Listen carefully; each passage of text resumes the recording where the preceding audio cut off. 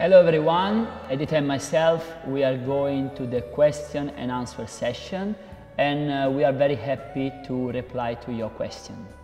Nastya from Ukraine is asking, what sacrifices have you made to become champions? What are some obstacles that you had to overcome?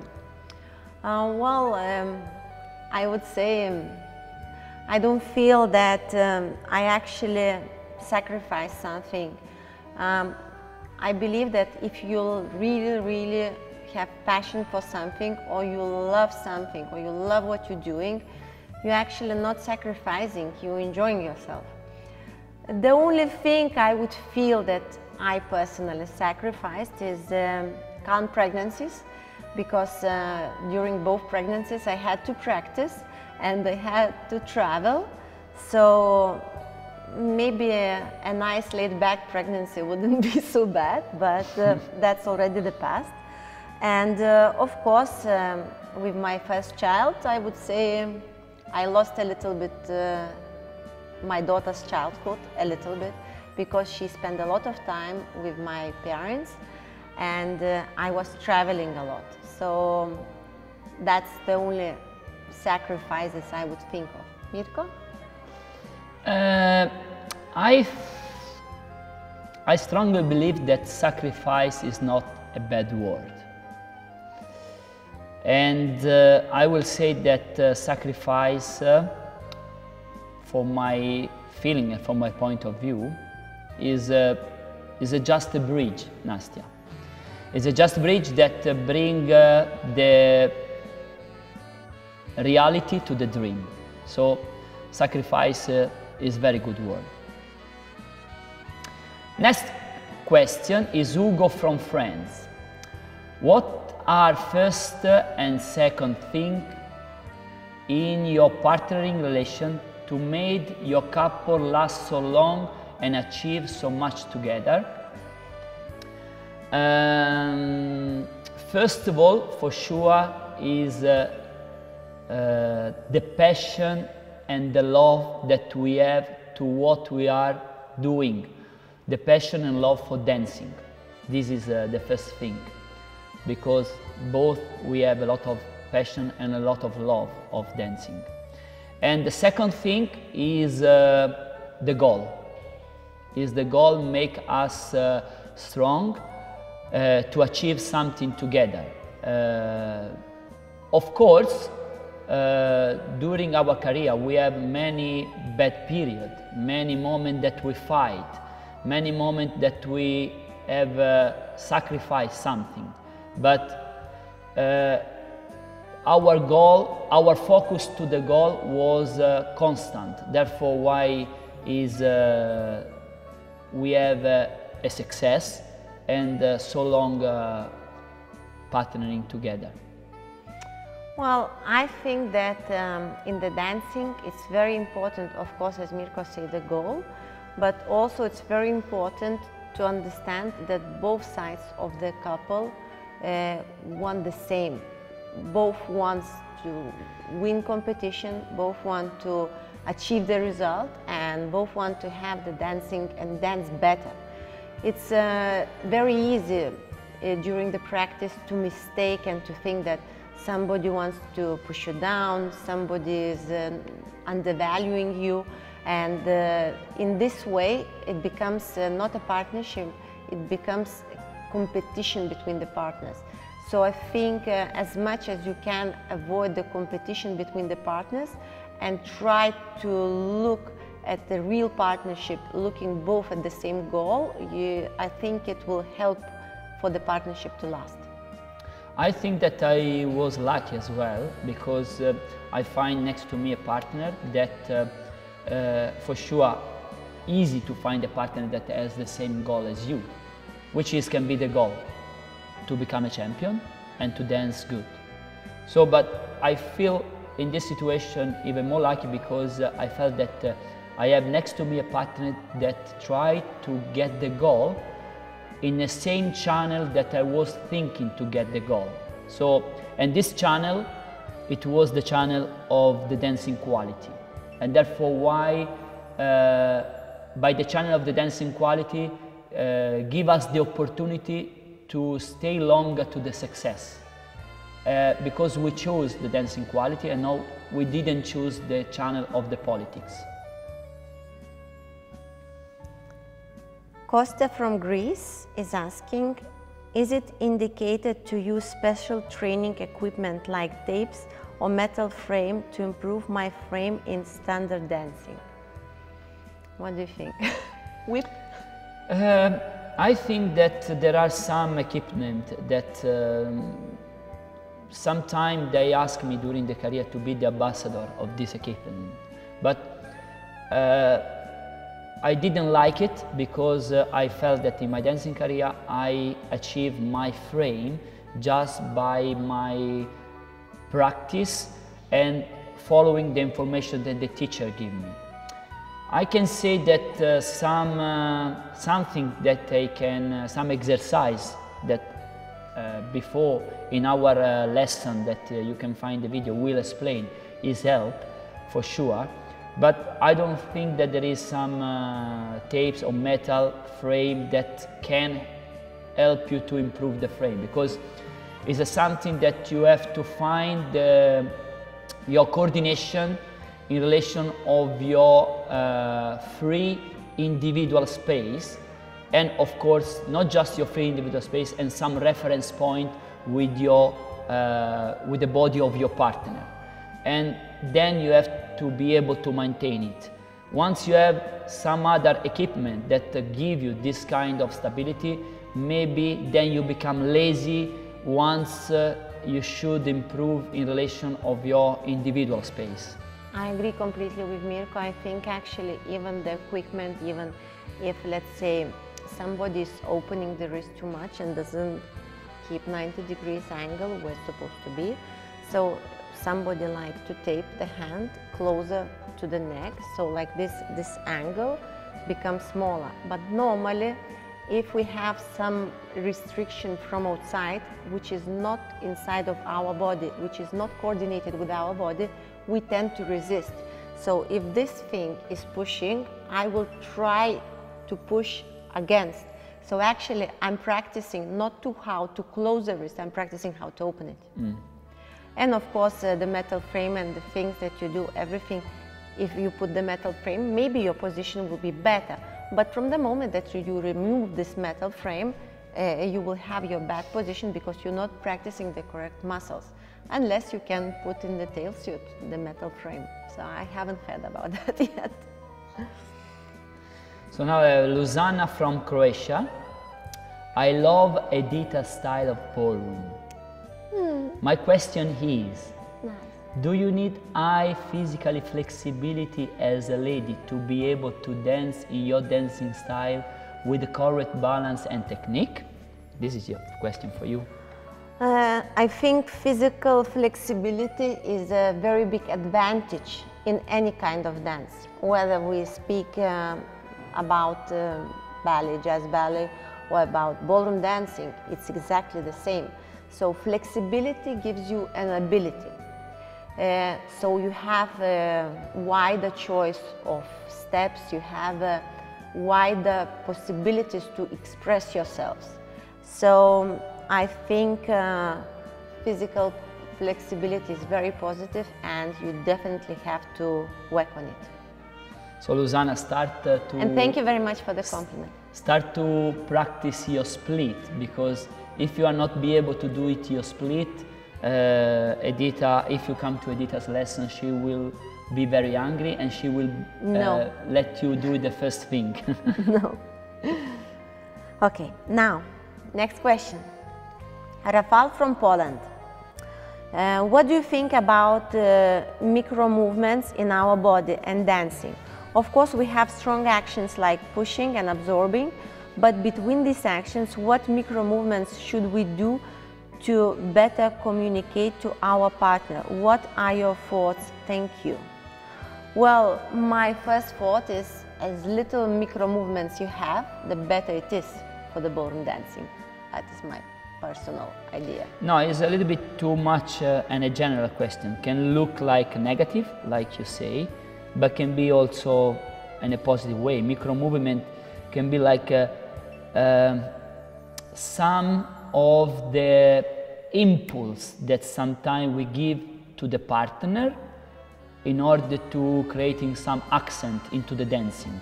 So can be like a micro movement of my body in order to give some reaction, some uh, uh, impulse to give some uh, information to my partner.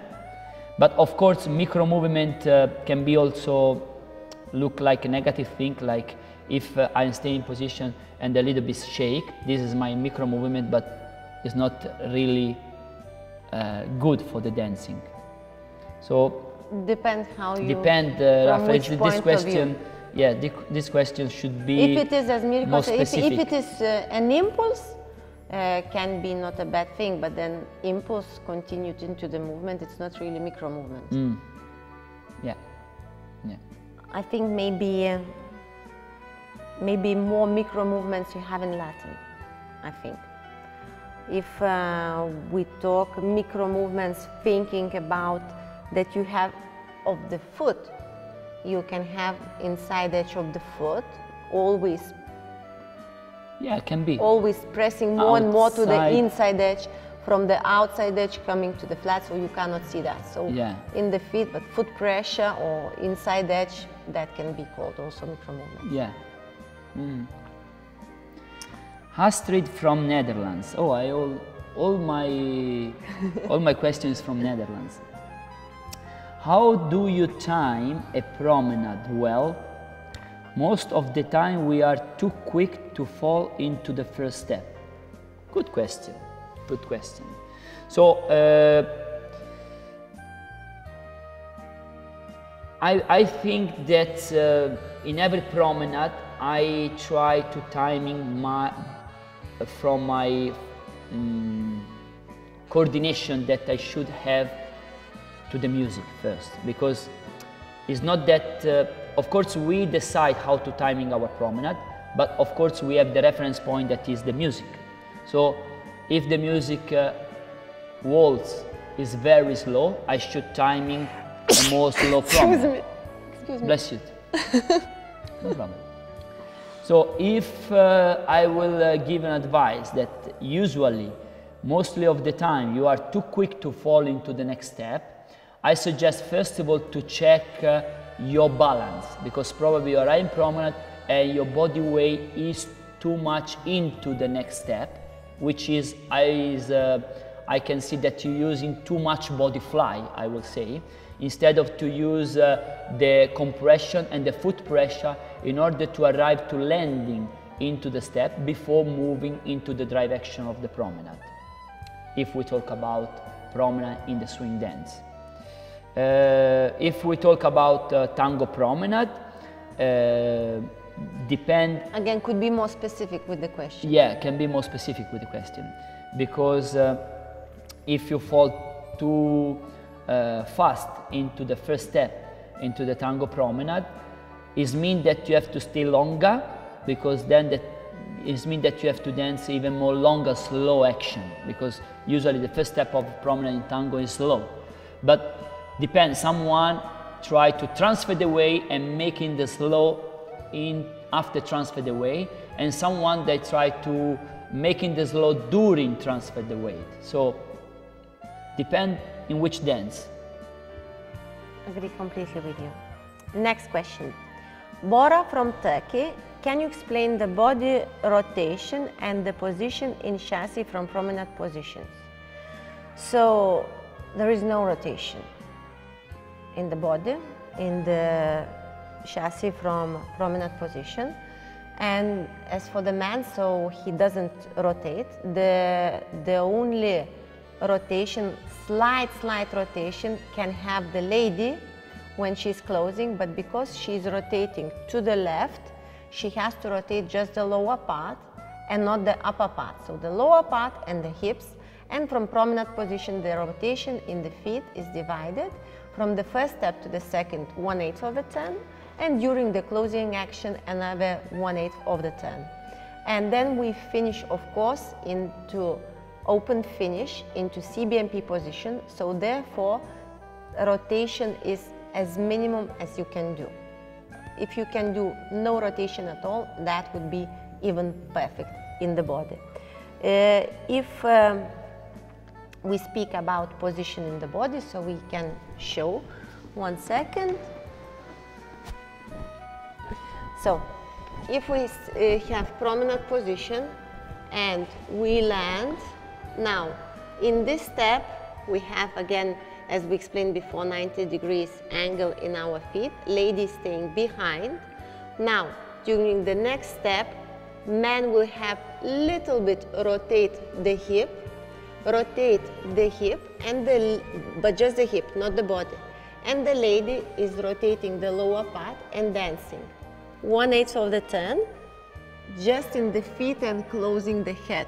Body is remaining exactly in the same position, one eighth, and during the closing action, one more eighth.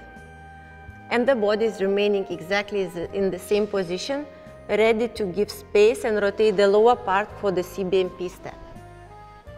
I think I answered the yes, question. Yes, very good, very good I would say. Thank very, very good. Now is the next one is from Sri Lanka. I don't know if I pronounce uh, well his name is uh, Thipul. How does a lady identify whether it is a running right turn or spin turn? So running right turn or spin turn. Hmm. How the lady should identify. So if I dance a spin turn, I will have a pivot. And then in the in the first step I will have a pivot. And then in the second step I have to rise. Okay I have to make heel toe. And I have to continue rise. In the running right turn I have a pivot still into the left foot. But then the next step is I have drive action in order to arrive again to the uh, to the natural turn, to close the foot in natural turn. Now, I want to point down that the running right turn could be also in a quick step figure. And usually, in a quick step figure of the running right turn, ladies should have a heel turn. No, it means um... running right turn. Ladies should have heel turn. So, and in a spin turn, lady doesn't have the heel turn but has a brush. So therefore, I suggest uh, to Thepul, if you dance in quick step, to have the same footwork into the first step. Then, if you would like to make to the lady a heel turn. I think uh, um, the, the guy from Sri Lanka did a mistake. Uh, it's not running right turn, it's running spin turn and it can be turn. also running right turn, but I try to explain to the running right turn. Yes, the running is, is logical what you say because the running spin turn is like an evolution of the spin turn, is a, and a spin turn more fast. But I would, I would like to, to understand the pool and make a running right turn is a figure uh, that you, we used to dance in the quick step, basic, and the lady into the second step supposed to do the heel turn. So in order to send the lady to the heel turn instead of to the brush, I should turn more. So therefore, once I send the lady to the brush, I move to my second step. I make the heel toe, but then I will not full transfer the body weight and continue to turn to the right from the second step to the third step. But I stay a little bit between the feet in order to transfer the like a rock, in order to transfer the weight back. So in this situation, lady feel to don't arrive to the heel, but to stay into the ball of foot and make a brush. This can be my question. Um, I think because it was mistaken writing the figure names, so I think that um, he wanted to know the uh, running spin turn and spin turn. So first of all, the lady will understand immediately because uh, running spin turn has a different timing to the spin turn. So spin turn has a timing 1, 2, 3 and running spin turn has a timing 1 and. So that's already very different and she should understand. And of course the major difference between the timing, it is the change of shape. So if you dance um, mm, running spin turn, uh, you, when you rise on the right foot, you don't have shape to the right. And when you then spin turn, the man should uh, rise on the right foot and sway to the right. That also helps lady to brush the feet and present the lady for the man. That was the last uh, question for today. And of course, I have advice to all of you who would like to communicate with us, and we will be very happy to communicate with you. Just we need more specific questions. So if you asking about some figure, before the name of the figure, please also advise us about which dance you're talking. So like this, it will be easier for us, so for you to get the information and for us to answer the question. So thank you very much once again. Thank, thank you. you very much.